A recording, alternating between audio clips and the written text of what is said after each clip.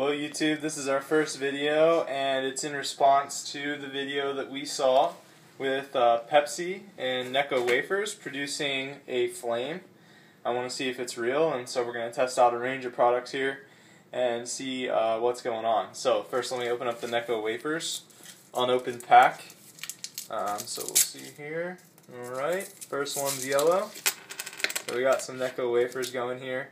Uh, I'm going to pour out the sodas and then drop the wafers in and see if we get a flame.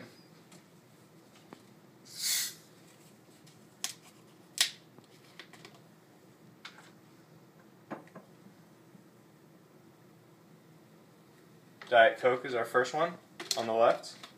I suppose you're right.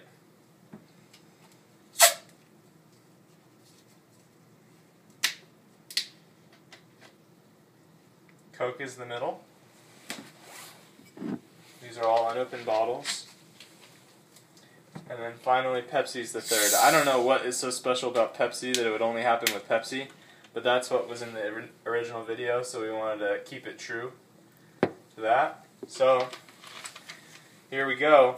I'm going to drop the Necco wafers in, wait for it, wait for it to while to give off some gas, and then see, uh, see what the deal is.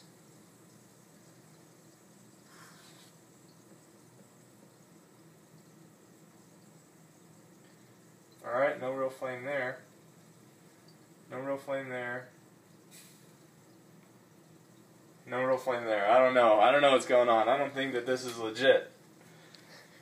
I'll try one more time with the Pepsi and the... I have it right on the surface of the liquid right over the Necco, so... It's not catching fire. Alright, thanks for watching. I think it's debunked.